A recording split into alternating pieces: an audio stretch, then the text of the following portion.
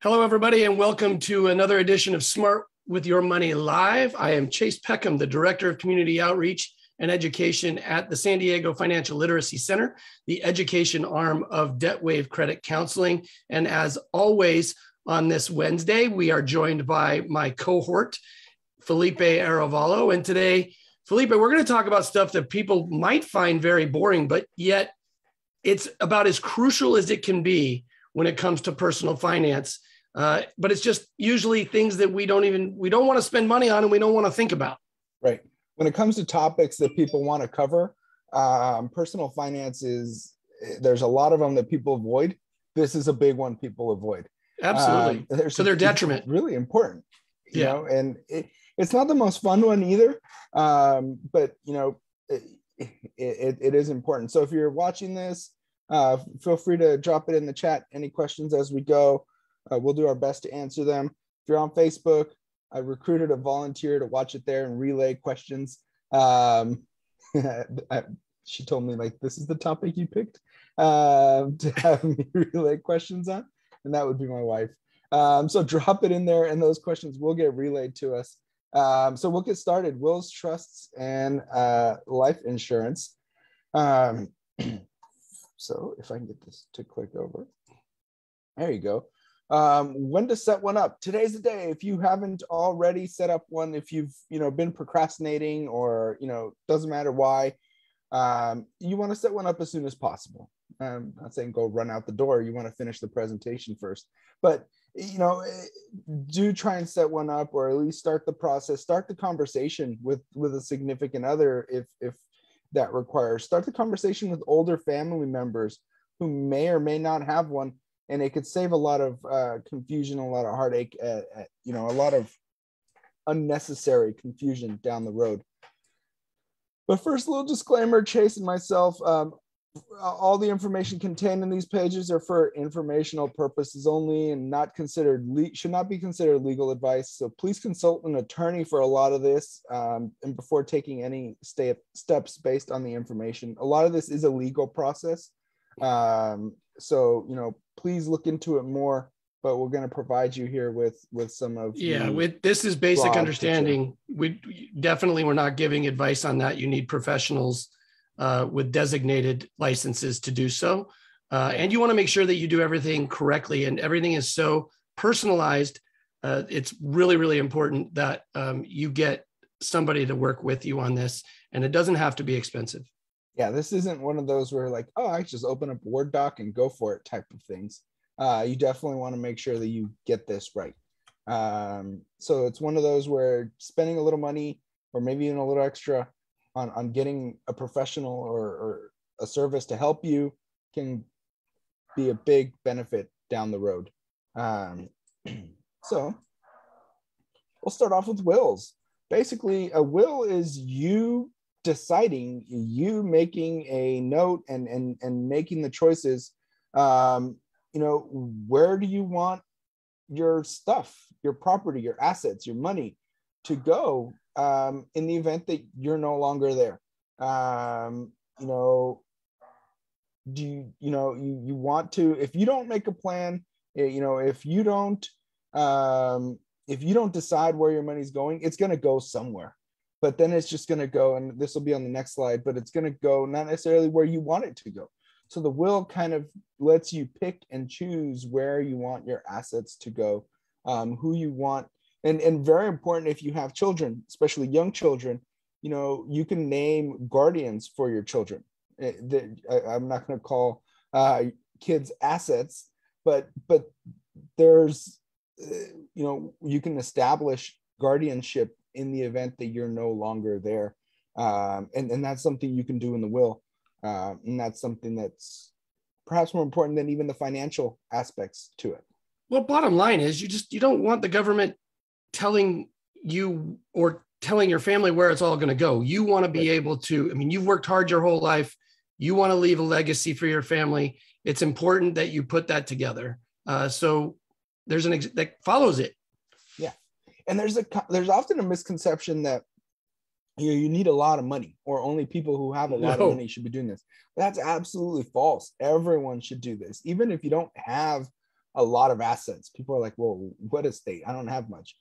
But not much is still something. And right. and you can dictate where that something goes. Right. Um and and I think you know that's the the the most important part about the will. So if you don't have a will and you just kind of go with the flow, um, there is a plan for your property, um, whether you made a will or not. Uh, this is kind of the order that the states, obviously each state can vary, um, that, you know, it typically goes. Um, yeah, this is pretty typical. Spouse, um, 100% to the spouse, or if there's children, they could go 50,000 to the spouse, then 50-50 between spouse and then the rest of the children.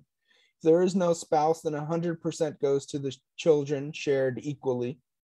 Um, if there's no children, spouse, but only parents, 100% goes to the parents shared equally, siblings, and so forth down the list. So if you catch one, two, or three, then the rest of them don't apply.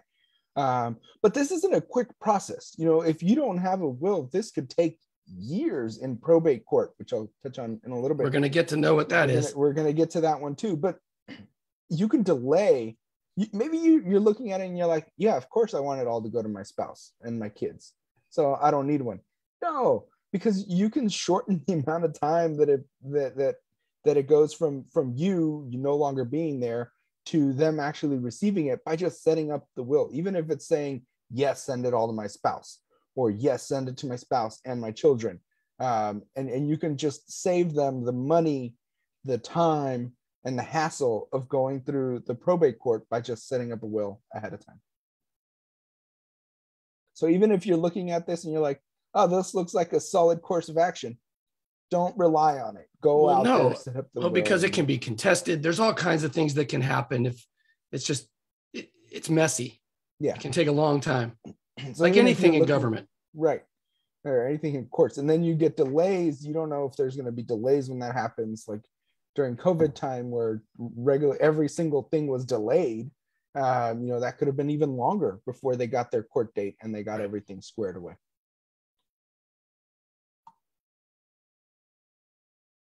Um, so who's left out by the state? Um, if you don't have a plan, who, who doesn't get anything? Uh, life partners, because notice it was spouse. So if you're you live with someone, you cohabitate with someone, they're your life partners, but you're not actually married um, you know, for whatever reason. Um, they have no rights. Out. They have no unless rights. you designate unless you right unless you put the rights in there. Um, friends potentially, uh, relatives who are not next in line in the priority. You know, maybe you're not close to your siblings, but you're really close with your cousin. You don't set it up. They don't skip your siblings to go to your cousin because oh he hasn't talked to his siblings in a long time. Uh, and next door neighbors with his cousin, whatever it is. Um, pets, you know, people want to. Yes, they do. People leave stuff to pets, pets, believe it or not. Yeah, and maybe it's just money to care for the pet, and and you know whatever the the pet's needs are, you know, going forward, um, or who gets the pets, and then right. some money to care for the pets or whatever it is. Um, organizations or institutions, people donate some of their estate, some of their money, some of their, you know, whatever property to organizations that they were passionate about. Um, potentially business partners. If you're in a business partnership with, uh, you know, someone, and and part of that, you know, assets might might be in your name or whatever it is, and then specific gifts to specific people. You want to leave your car to someone. You want to leave your watch collection to someone else. You want to leave, and you can dictate and pick and choose. You know where all that is going. So you know take that unknown from loved ones or whoever is you know trying to figure out what to do with your stuff after the fact um, by just having a plan setting up a plan now um, so after uh, an, an, asset holder dies uh, the court appoints either an executor named in a will or an administrator if there's no will um, to administer the process of probate to basically spread out stuff uh, and distribute your things as you go. Um, Again, this, not a short process. No, it, it's not like just oh, okay, yeah, you. Uh, so this involves contact uh, collecting the assets of the deceased person to pay any liabilities. So some debts, if there's assets, have to be taken care of um, on the person's estate. and to distribute the assets on the estate to the beneficiaries. But again, if there's no will, the court appointing, you know, an, an administrator can take a long time, as opposed to if there's a will, the court can look at it, validate it, say, all right, looks good, looks like it was this person, and they know what to do with it. You're off and running. Go do whatever it is you need to do. Um, there could be it could be years difference worth of go do this or let's just draw this out in court and figure it out later. Um, it sounds morbid, uh, I but know. you know because you don't you don't want to plan for the You don't wanna inevitable of, about it. of death. I mean that's not something we want to think about. But if we don't, we got to look at this and think about this of how do you want your family or your loved ones taken care of, and how quickly. And if you don't do that, if you leave it up to the courts, if you leave it, then it's going to take longer, and they could be stuck uh, and and not uh, live the same way they have been living when you were around. and we've done a tax presentation, and there's only two things that are guaranteed: death and taxes. That's right. Here we go. We had to do this one too. Um, so you know, it, it, it, it's a tough one though. This is a tough presentation. It's not, you know, you'll notice you don't see the gifts and the everything else that I normally gifts and memes and whatnot that I put into normal presentations because the topic doesn't lend itself for that. But you know, continuing on what happens when when people die, some types of assets pass directly by law, uh, and they're not governed by your will. You know, thinking like a 401k. You know, if you have a surviving spouse, that unless they you've taken steps beforehand, um, Which you probably have. which you probably have if you went ahead and set up the whole thing. Um, you know, it, it can be even when you sign up for for a 401k, if you wanted to go some, if you want to name the beneficiary who's not your wife, you have to get your or spouse. Uh, you have to go get your spouse to notarize something saying it's okay for that to take place. Otherwise, it just defaults to them. Um, but everything passes uh, according to your will um, with probate assets, and then the amount someone can inherit through your will is reduced by your debts. So some debt obligations do need to be taken care of if there are assets in place. Um, if you have no assets, though, the family then is not required to pay your debts. Um, so Right. There's that. That's a common misconception. right. The only way that you would be responsible is if your name is or that that spouse or somebody else is on the contract with you that is a part of that. right if it's a joint account or Correct. or something like that so taxes there's actually no income tax on inherited money um, unless that money comes from specific accounts like a retirement account a 401k IRA an annuity. I believe the cap is eleven million dollars or something in that area. yeah so it's a really big Really, really high. really large amount that, that you can get um, inherit without any kind of tax implications. Some other important uh, documents, um, or sometimes called advanced directives. Um, you have a healthcare proxy, um, which is um, it designates a person to make medical decisions uh, if you're unable to do so um, and then you can even put like a secondary contingent person in case the first one's not there or whatever. Uh, you know, be selective, obviously, who you pick, or or if you if you set one up. But you could also set up a living will, and and not only do you set up a healthcare proxy person, but you can also tell them what to do and take that responsibility off their hands by setting up a living will, um, and that kind of states you know what you would like to happen to you if you can't make your own health decisions. So then now it's not that person's responsibility to find out whether or not you know doing like a life support or resuscitation or Right. or things like that again Give guidelines. topics but it gives guidelines this Right. is how i want things to happen I am not for my father. My father, I have strict guidelines. So it Yeah. takes so you're not basically it takes the the emotional side out of it, or at least Right. makes it a little bit easier. As I know, I have it down in writing and in a video of exactly what my father wants, and and that's a good idea to have it down there, also on video or something like that, uh, with because that way it's proof. Um, because a lot of times you might be fighting if you don't do it in time, and the and you're not of sound mind, um, then you might have family members that say, well, he can't really make these decisions. So if you do in advance when you are of sound mind, uh, you're setting yourself and well, you're setting your family up for a much better position. Right. And and and that way you really take the burden off your your healthcare proxy. Correct. Because now it's not like siblings or other family members coming back and saying like you can't do that. Like it's not really my choice. This was their decision. I'm yeah. just carrying out whatever has been set forth and agreed on beforehand. Um, and then they don't have to feel guilty about it because that's just they're carrying out your wishes.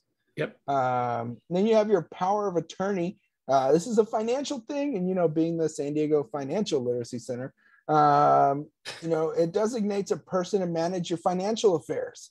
Um, so you know, and, and this could be like a limited power of attorney or a full power of attorney. You really want to be careful, obviously. Then this person will have access to make changes to your financials. Yeah, and, to, and for example, if you don't, if you have a spouse or you have somebody that, if, if you have your own bank account and you pass away, doesn't matter if your wife is married or not, she will not be able to get into your older your other bank account until uh, for a long process. It will take a while. So if if you want somebody to be able to get at different accounts right away, you need to make sure that they are on those accounts and that you have somebody that can run and efficiently run the power of attorney. Uh, that's a, and, and you carry it with you a lot. I mean, you always have it have a copy away and have a copy with you because you just never know when these things are going to happen. And I'm telling you, it, it it it could be very difficult. I've done it myself. Yeah, and and and you want to make sure that you you have the access, um, but but also you like Jay said, set it up ahead of time. So because if you wait too long, then it can be contested, or you may not be considered able to make that decision anymore. Um, you know, or whatever it is. And and this could be something where again all the other ones seem to be for like if someone were to pass away but you could recover and and that person may have just taken care of your bills for a month or two that you were right. in the hospital unable to make financial decisions this doesn't have to be like an end all be all but right. you know you may have spent a, a, month a month and a half in the hospital and at least this person can go in and be like look i still paid their mortgage i still paid their car whatever yes. it is um, so you don't come out of the hospital you've been foreclosed on and your car being repossessed um, so eh, eh, you know that's that's another one to to keep an eye on. Um, then you have trusts. Um, so trusts are property. You, you you put property into a trust, and then it can be held for the benefit of another person, the beneficiary. Um, someone is called the trustee, then manages the property or assets or whatever it is, um, and and they can benefit from it um, you know, uh, and again, this can be something, um, you know, this could be something where you have uh, uh, people who are living who own or are all trustees of the same trust. This doesn't have to be like an afterlife type of thing. This could be a ongoing generational thing where where you know assets can be put into the trust. There could be multiple trustees and it just kind of smooths the process out. Um, and and you can be very detailed as to how the assets within the trust can be used or or are right. to be distributed. Um, so it, it makes it more simple more control and just simplifies the process. Um, and that trust can pay bills, like we talked about before. So if you wanted it all, if you want your a lot of your finances in in a trust, and you have people a part of that trust, they can write those as members of the trust. Right. But you got to trust them. Ha. I mean, that was good. I did not mean to do that. Uh, no, that was good. I liked it. Um, it was an accident. So, you know, and you can, if you have younger children too, you could set up a trust and, and then they can, the trust can, you know, be hold it and invest in. And you can have rules in a trust. Right. So you can have it that when the kids come in, just like it will, but in the trust as well. So it just tightens it up. Uh, it, you know, your kids you could they can get a certain amount of their money when they turn 30 and if they graduated from college only you know you can set any parameters you really want you're right. Yeah absolutely.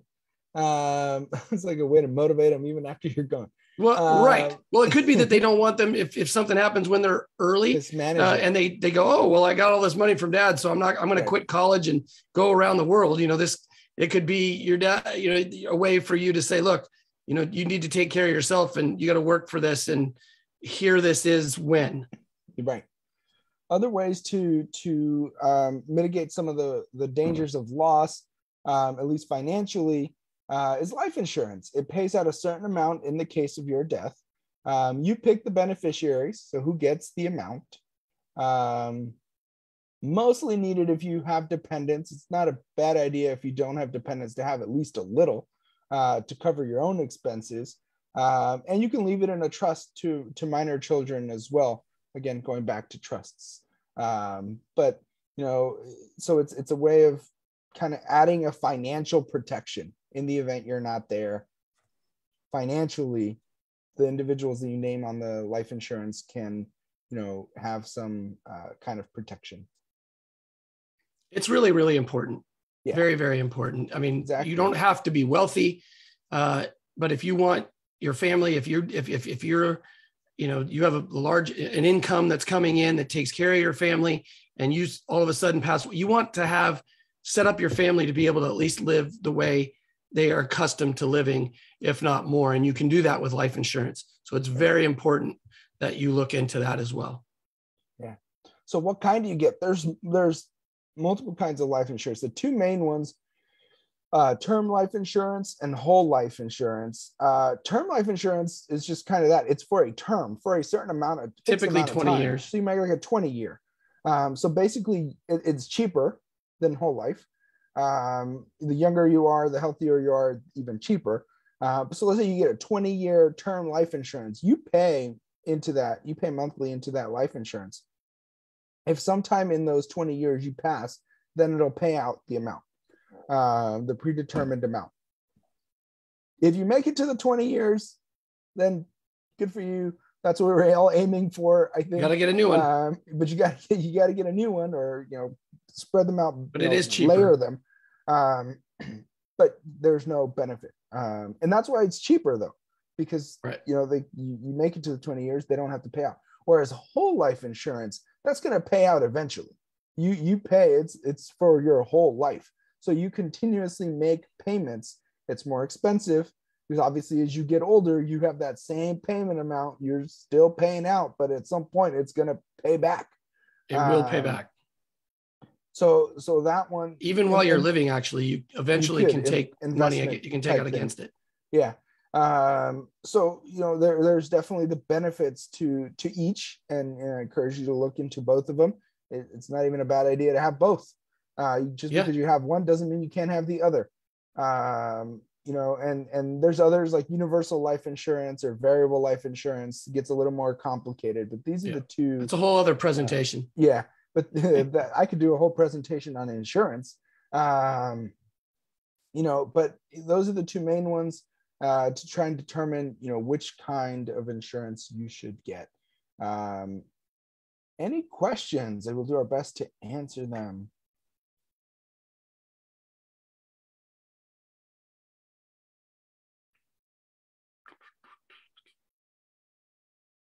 All right.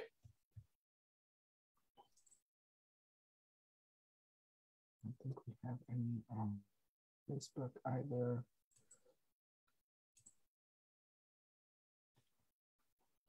Um, okay. So, all right. No questions. That means we did a great Man, job. that's good. That must mean we did, we our did job. Great job presenting, or we put everyone to sleep. One of the two.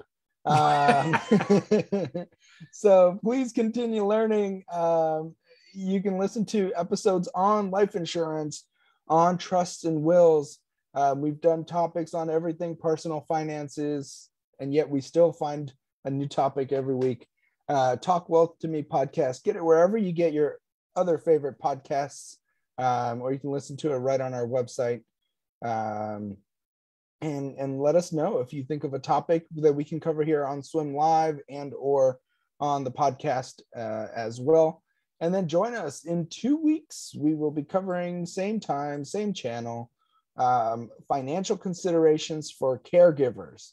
Again, this one, wills and trust, it may not be a bad thing if you have elder family members to just kind of check in and tough Sick. conversation to have, but just kind of check in and say, hey, do you have this? Is this in place? Where can I find it?